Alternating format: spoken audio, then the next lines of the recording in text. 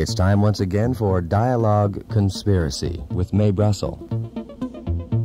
For the past 14 years, Mae has been researching and uncovering facts and evidence from between the lines of the news and placing them in a more thorough perspective of how conspiracy, political assassination, and abuses of power affect us all. Dialogue Conspiracy originates with KLRB FM in Carmel, California. And now, Mae Brussell.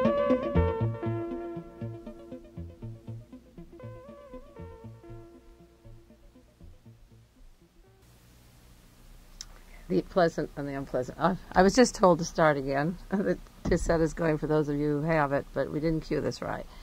It's Dialogue Conspiracy number 300. It's Mae Brussell in Carmel, California, December 18th, 1977. I have a guest this evening who's going to be speaking about the Savak, the Shah of Iran, and the demonstrations in Washington, and what has happened to the uh, people in the United States who have suffered as a result of his visit and what's happening in Iran right at the present time, right up to the time that we went on the air.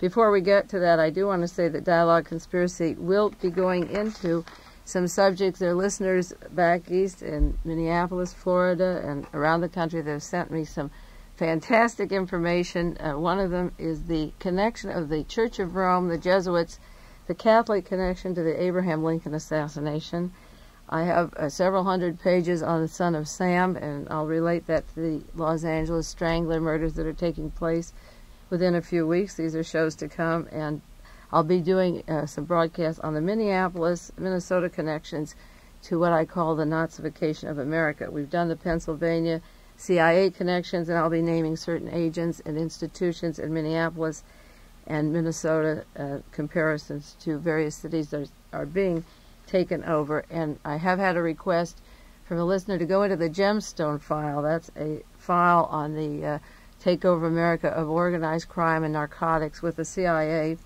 I got the original Gemstone file from Bruce Roberts. It's circulating all over the world, and they want to make a movie out of it from London. I'm the only person in the United States that has the entire file, and it's 300 pages. It was given to me, and a summary of it is going almost every city, uh, major city in the country, and many of you do have the summary of the file. I'll go into it at length shortly in a few weeks. I do have copies. They're not at my home. They're located out of the country. Three complete sets of these hundreds of pages that are answers to many of the questions people have been asking. And we'll talk about Bruce Roberts. The man who wrote the Gemstone file died of a brain tumor about six months ago. I also uh, want to uh, thank people for sending in these various books and papers on other subjects that I don't have time to mention. My desks are literally piled with these uh, pieces of information, and I will use them from time to time if the little patience will get to it. Now, back to my guest here this evening. Uh, I want to say, as a way of introduction, that there is one overriding theme of dialogue conspiracy that I have been emphasizing for the past six years, and that is the corporation funding of Adolf Hitler before World War uh, II, right after World War I, and then the creation of fascism all over the world after World War II. When Hitler lost the war, the top Nazis were distributed all over the entire world, and this renewed funding and creation of Nazism is causing systematic murder of persons that I describe each week in Dialogue Conspiracy and the witnesses to these murders. The mastermind for this Nazification was originally the Tsarist Russians working with French, Dutch, Dutch, and English oil companies and Americans. And after World War II, they combined with organized crime and uh, went into worldwide narcotics traffic. The effect of the Nazification uh, is exemplified in a new book, which is coming out. Uh, I just heard about from the London Guardian. It's a book about Martin Bormann, and an introduction to this book describes the fact that two questions are on everybody's mind where is Martin Bormann and who killed John Kennedy? And now a new book is coming out called Treason for My Daily Bread by Mikhail Lebedev, a Russian who became a Nazi. He helped Martin Bormann escape. I have the escape routes that he's listed that are identical to the other sources that I've had uh, previously and uh, he's going to tell that an agent, a um, particular agent uh, by name, did the fatal head wound that blew off the head of John Kennedy, and that the murder was ordered by none other than Martin Bormann, the man that masterminded the person known as Adolf Hitler. I believe I'm the only person in the world that has published articles and talked continuously on the radio shows of the link of the Bormann Brotherhood to the Nazification of America and the assassination of John Kennedy. The man called Zed, who did the fatal headshot, for which Lee Harvey Oswald was the patsy or fall guy, used a .45 bullet, which is a heavy bullet, enough to blow out the brains of John Kennedy. So the links of Argentina and Germany and Texas, Washington, Mexico, the CIA are being put together. New books are coming out all of the time, and I'm looking forward to that book. And when we talk about murders and assassinations in this country, particularly around the world, uh, we talk about a figure of speech. We haven't suffered at the hands of this oppression. We really don't know what it is in this country, like uh, people that have been in other countries or have relatives in other countries, such as Chile or Iran, and uh, experiencing this repression. So tonight, I have this guest who's going to speak with us about what it is to have the Nazification of the country in her own hometown. Now, for very good reasons. We're not going to identify you by name. I think mm-hmm. that's fair. That's we agreed. Uh, she doesn't want the Savak on her tail in this country.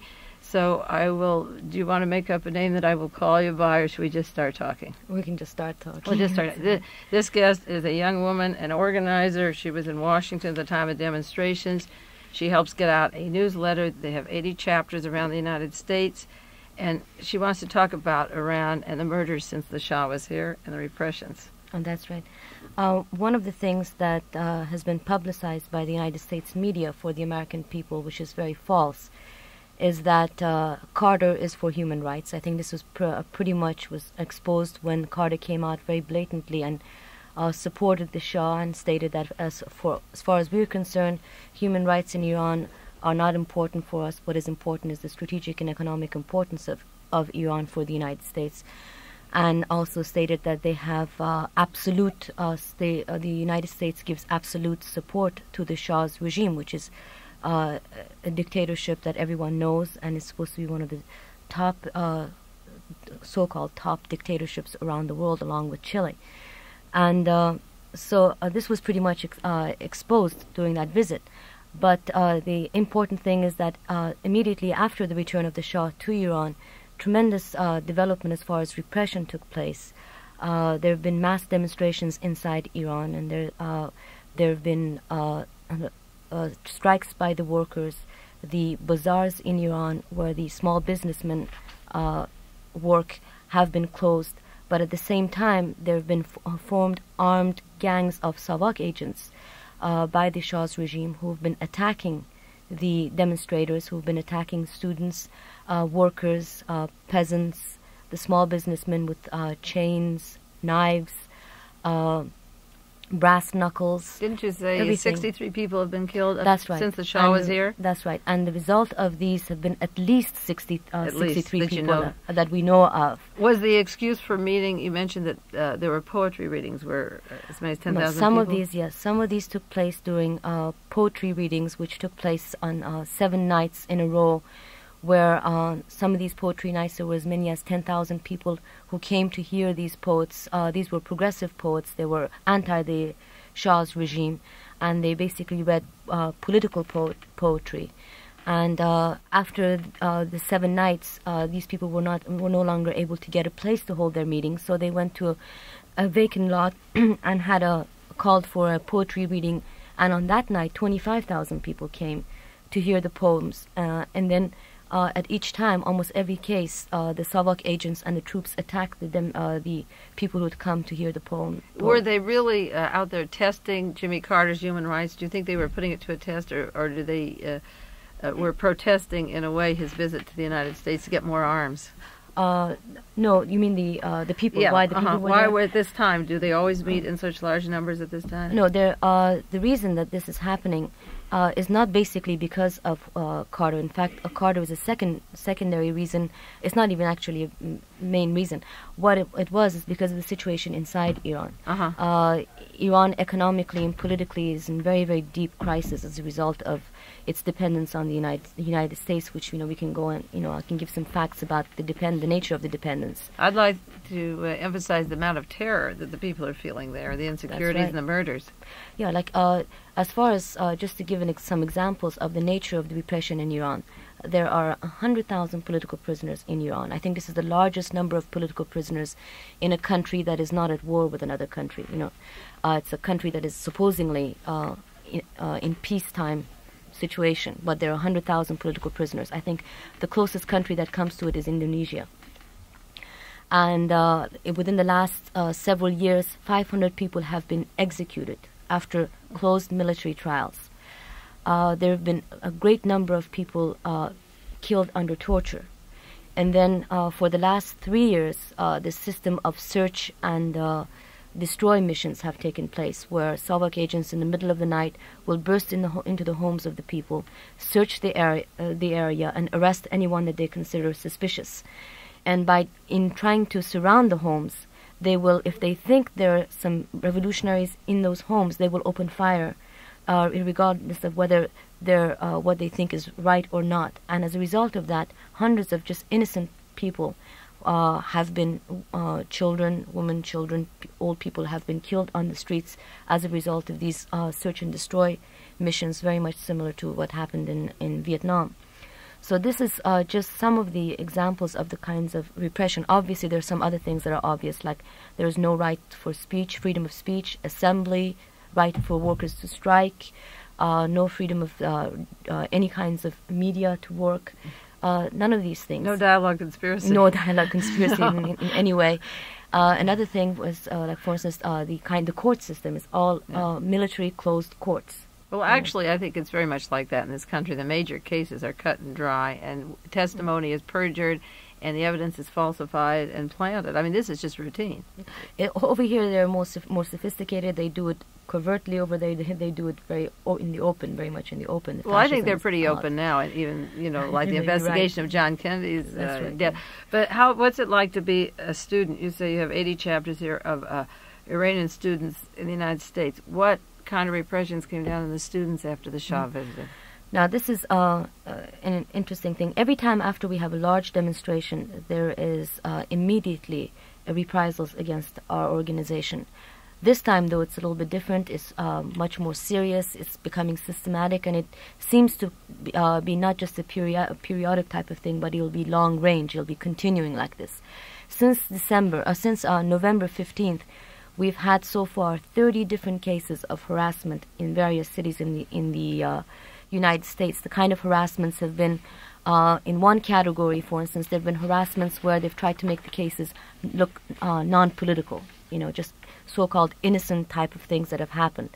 Uh, for instance, uh, expelling students uh, for absenteeism. But when you get into it a little bit more, It was the day of the demonstration. Demonstration, yeah, But how could they yeah. can't say that's not political? That's very obvious. but uh, they categorize it as we are expelling you because you were not in school, you know. But the fact is that the reason that they're expelling them because on the days that they were not in school, like two days or three days that they weren't in school, it was the same day that it was uh, coincided with the Washington Could, demonstration. could those students get other students to stay out of school, say for three days in January, and see if they're not expelled and it happens all the time. Yeah, Only the Iranian students. The other Only- American students can cut classes. that's right. But yeah, the, if it was because he was here, that's right. they were expelled. Which states are the hardest? You gave uh, some colleges. Which, where do you think it comes out the hardest? Do you have any record of uh, Uh, the most harassment in the United States? it's being done uh, pretty much generally now, but uh, obviously everywhere where we have chapters. But the uh, severest areas have been in uh, Texas, Houston, Texas, in Chicago,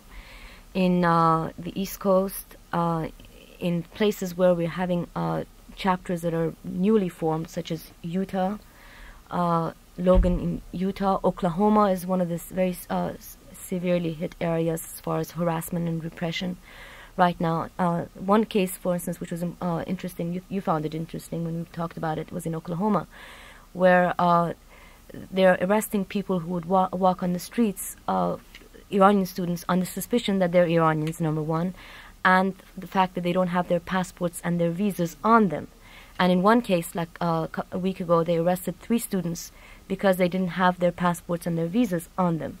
And they took them to jail. And then one, when the other people, their friends, brought their passports and their visas and they, they could prove that they were le- legally in the United States, the police were forced to release them, but they uh, got 50 uh, $40 from each one of the students kept before the they bail money. kept the money before uh, releasing them. And you also said the students that went to the demonstrations that have been expelled around the country, then the information that they're no longer students is sent to the Iranian embassy. That's right. They're they're being sent to the, the consulates and the immigration. That's right. And then if they're not in college enrolled, they can return them home because they're not students. Is That's that right. what they do? We are having uh, deportation cases right now all over the United States. Like in, uh, we have a case of 92 students who were arrested in Houston, Texas last year, and the immigration came in and put immigration bonds on the 92 students.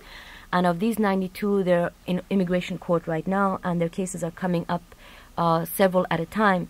And four of these students, after the uh, Washington demonstration, immigration just came out and said that they have until the end of December to leave. They're deported. Now, when uh, when students are deported for political reasons and they're, they're deported to Iran, They get it Uh, at the other end. Then. that's right. Our Do they go into jail? Oh, yes, our organization is illegal. In Uh-huh. 1970, uh, the regime uh, outlawed organ- our organization, and they said that any member of the Iranian Student Association would be given three to ten years imprisonment. This was in 1970, and then in 1975, the Shah personally change that to life imprisonment or execution If they belong to this organization. to this uh, what organization or you- any anything that's uh, politically against the regime. What would happen if you went on the major media or ide- identified yourself by name? What would happen to you when you get back east? Ba- um, back Wherever you live, we don't say where. I won't identify where you live. No, in the United States. As far you- as harassment, you mean? yes, uh-huh. Oh well, surveillance is uh, just you know rule tapping of the telephones, uh, arresting people for any kind of thing from parking tickets, for instance, and putting on enormous bonds for just things like that. Like just give an example, uh, to trying to prepare for the demonstration in Washington, we were putting posters in around in different cities, and in uh, at least ten different cities, uh, students were arrested for putting up posters on the on the walls and from uh, these people, the bonds put on these people were for hundred dollars in some areas and thousand dollars in other areas. And one case in New York, they were charged with a felony for putting up a poster. You know, Yeah, They were followed by. Were they followed by the New York police or the Savak? uh, well, by the by the police. Yeah. And of course, the police working hand in hand with, With the SAVAK by ha- giving them information, by giving them photos, uh, fingerprints, uh, any of these informations. You know, so they work together very closely, both the SAVAK, the police, FBI, CIA. Are you followed? Are you conscious of being followed? at times? Yeah. at times. Our phone is uh, pretty badly. They they do a very bad job of tapping telephones. You can tell. You can hear your own voice practically being taped. But uh, it's important to let the American people know that the, the changes in Iran have to come here. They can't be taking place over there. It was like during World War II, people in Czechoslovakia or Hungary or Poland or France, when Hitler came in there, uh, the people living there couldn't absolutely move. They were just stymied, and it took the American forces to overturn them. In this case, you have the American forces putting in the fascism. So you have a real problem. You have to take it grassroots to the people and educate them and hope that uh, the way they did in Vietnam, got out in the streets and demonstrated that they support your demonstrations. I have the address of your newspaper. Um, this Resistance is a very interesting newspaper. It looks really great, and there's a picture here of Mr. Human Rights and King Torture on the cover. And this whole issue is about the visit of the Shah and st- the statistics of his arms uh, payments and what went on in Washington uh, when he visited here in November.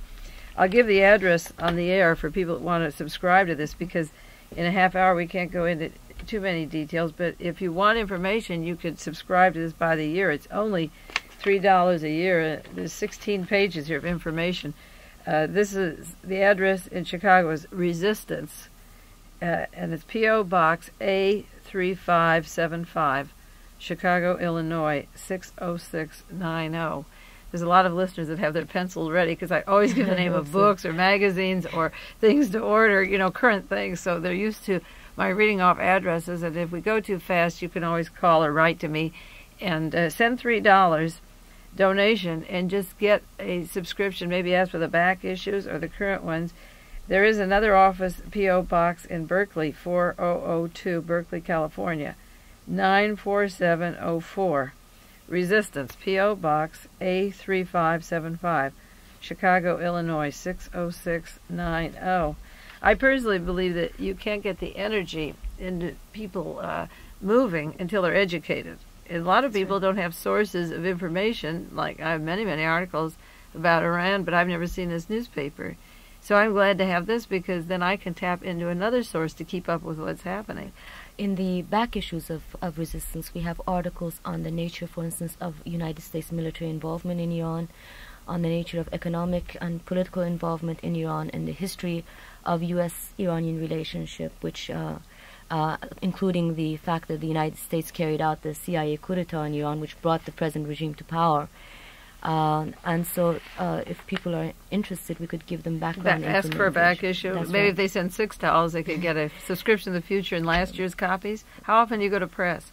Once a month. Once, a month. and then after you read this, you might write to Resistance and ask where in your hometown, uh, because this does reach a lot of cities, there is a group that you can attend. And I don't think that Americans should believe it's just for Iranians. I think that they should be there being visible, just like it wasn't the Vietnamese protesting here on the streets. Uh, you should be there supporting these students who uh, are a resistance movement and move on this. There's no excuse for these things happening uh, now with the amount of information that's available. It seems to me that uh, listeners could get their energy and get into these demonstrations and maybe help you in some way in their individual cities.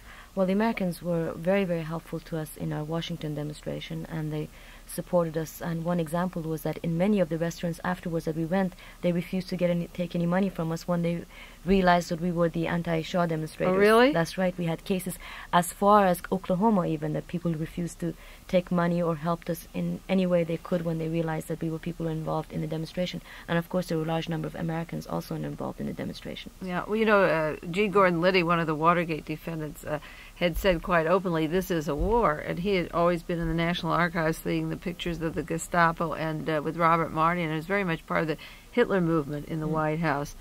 And a lot of people in this country do not take it as seriously as I do that there is this war going on, and it's at home and it's abroad, and uh, it's a continuous effort that you have to mobilize. That's right. Uh, how about the influence around and universities? You're talking about the University of Pennsylvania. Oh, that's right. Uh, one of the uh, things that also contributes to the harassment of the Iranian students in the United States is that the, the Shah is buying uh, enormous contracts uh, with different uni- universities in the United States. Like there have been over 70 contracts with different universities and colleges and the uh, regime of the Shah in Iran. And for instance, one in contract between the uh, Pahlavi University in Iran and uh, the University of Pennsylvania has the clause which states that University of the President of the University of, of Pennsylvania will select the site for the University of Pahlavi in Iran, will select the uh, teachers, the and will select the books which are written in the United States. They will select the library and the kind of books that are uh, put in the library. They will even select the language which is to be used in in the in the university, which is being used in the university. The university is opened now. And what will America get in return for this? And ed- educating the Iranians, what uh, is it? All oil, oil and Well, opium? no, Is that? it's, it's the the- trying to educate people to think uh, the way that would be profitable for the American corporations is Yeah. basically the most important thing, which we call uh, sort of neocolonization of the uh, Iranian educational system, is to make it uh, fit exactly the kind of system that the United States needs in order to continue its uh, infiltration into Iran. Aside from that, they get a lot of money from the Shah too. These contracts are bought by millions and millions of dollars worth of money, you know. It's a, it's a recycle process. Well, Iran was a test case for the Central Intelligence Agency. It was formed in 1947, and then in, in 54, when it was overthrown, 53. Uh, 53. That's when uh, um, people disguised as priests were pulling machine guns out of their coats and uh, making the overthrow there. And it's been a perfect puppet. I think both of us agree that the Shah is Is a puppet of the United States. The people don't matter really uh, for what's going on there. They're not considered at all. Uh, as far as the United States is Yeah. concerned, absolutely not. Uh, the regime is uh, propped up by the uh, military, which everyone knows how much. I think uh, the, Shah buys 50% of the United States arms sales abroad every year. And in fact, this last year, since Carter came to power, uh, he's bought two thirds of the arms uh, that Of the, the United. States uh, of the arms that the United States has sold abroad. Two thirds of all of the arms that the United States has sold has been bought by the Shah, by the Shah, and uh, which is um, which is over twenty billion dollars worth, worth of arms. Why do you suppose he's cutting off the agriculture in that country and uh, importing Mm-hmm. food from here to there? Yeah, see, uh, Iran was uh, used to be an agriculture. It is is supposed to be still an agriculture country. Sixty-five percent of the people live by agriculture, but uh, the agriculture has been destroyed because uh, the agribusiness, the large agribusinesses in the United States, make a lot of money by uh, exporting their agricultural goods into Iran. So the agriculture in Iran has been destroyed. The peasants have been destroyed. It also makes a dependency of Iran upon Exactly. the United States. Exactly. It's opened up a large market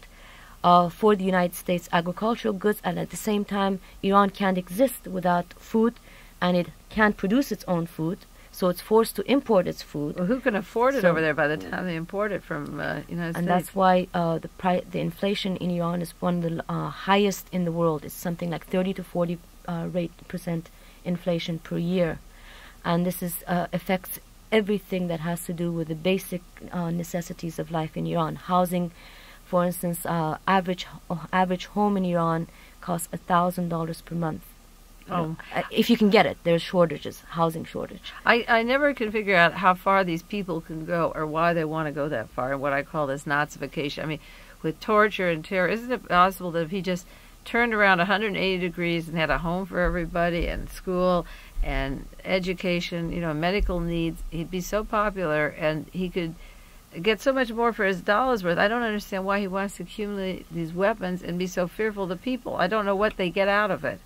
Well, uh, it's not. He, uh, first of all, he- uh, he is, as we said, a puppet for the United States, and what makes the United States government tick is the profits for the companies, Oh. and whatever profit, and for, for to make in order to make profit, you have to rob the people, and that's the way it works. And you and the people don't let pe- other people rob them just sitting around, you know. So they have to they need arms and repression in order to be able to continue their plunder and robbery of the people. Why did the Shah let so many students come over here so they'd come back and put money back into his economy, get Well, trained in because America? he has uh, he has uh, he doesn't have the system in Iran in order to be able to uh, educate the people. And uh, like for instance, just to give an example, um, there uh, the the entire budget for education in Iran equals 20 F-16s, and the Shah has ordered 300 F-16s. You see, and the educa- the entire educational budget uh, is as much as 20 of the F F uh, F-16 planes that the Shah has bought. So uh, there is no budget to uh, develop the educational system. Just weapons. Yeah, And last year, for instance, there were 325,000 students taking en- entrance exams for the colleges, and there were only room for 15,000 students. So, So what are you going to do with these 15,000 out of 310,000 students That's- that you know, with the with the yeah. student movement also in Iran being very very sharp, you Oh. know. Now, uh, So- one of the things I do want to say, we have about one minute to go here, is that uh, if people get resistance and write there for information, they can attend demonstrations, they can get educated on the subject. They can get educated in the subject. They don't even need resistance in order to, to participate in Well, demonstrations. It's no, I mean, if they don't know where they're located, they wouldn't Yeah, know right. where to attend. I mean, a lot of times they come spontaneously, we only know about them because we read in the right. morning paper. if they write uh, to resistance, they can get uh, the publication. They can get information on uh, any of their questions that they have, or how they can contact us in anywhere in the United States. And, and the problem is to get educated that it's happening and take right. some of the responsibility. Uh, you Americans who have a lot going for us, we really do have, and a lot to be grateful for. And we sit back and use the wealth of the corporate structure and let these people be tortured and imprisoned and starving all over the world. But I think the worst example, prime example of the collusion and corruption of the American system is the Shah of Iran. I've always thought that, you know, it was the first baby of Allen Dulles, you know, the That's right. overthrow, and it's been the primary example of torture, repression, uh, greed, Mhm. and Nazification of another country after World War II. That's Well, thank you very much for coming. Uh, I'm really glad to meet you. Uh, my guest is out here from the East Coast and has been active in demonstrating, and I appreciate her coming to Dialogue Conspiracy. Thank you. And maybe when you come back, uh, we'll meet again, or you can send me some tapes or telephone conversations, Sure. and keep me up on what's happening. And then we'll put it on the program. Fine, thank you. This is Mae Brussell in Carmel, California, and Dialogue Conspiracy. You've been listening to Dialogue Conspiracy with Mae Brussell.